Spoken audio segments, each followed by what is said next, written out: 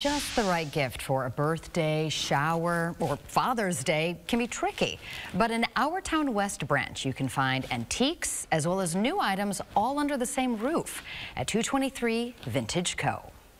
A tour of 223 Vintage Co. starts with the live goods. Here is our open air greenhouse. Um, we built it during COVID just because we needed more space for plants. Macy Krall's business is in the heart of Our Town West branch, and it's the perfect spot for green thumbs, gift givers, and antiquers.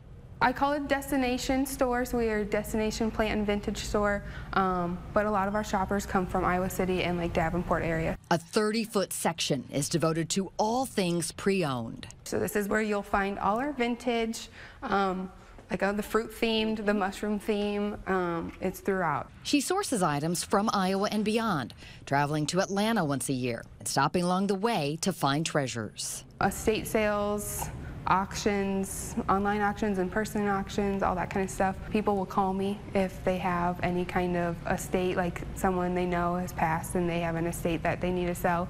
Her husband typically drives while she scouts for merchandise.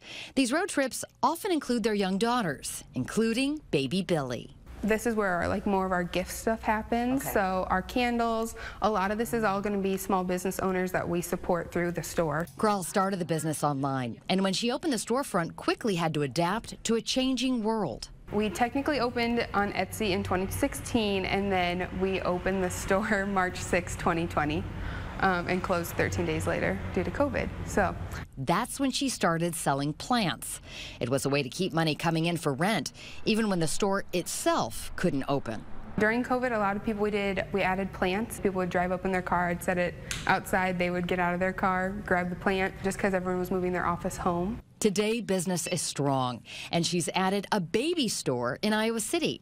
But this shop in her husband's hometown is staying in Our Town West Branch. I love the space we have here and our parking situation. Everything just kind of is, it's too good to leave here. Well, each day this week, we'll bring you another slice of life from Our Town West Branch. And if you miss a story, don't worry. It's all on KCRG.com.